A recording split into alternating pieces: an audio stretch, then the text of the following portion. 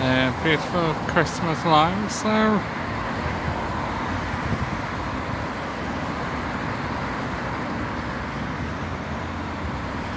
Don't forget to like, share, subscribe as usual, friends.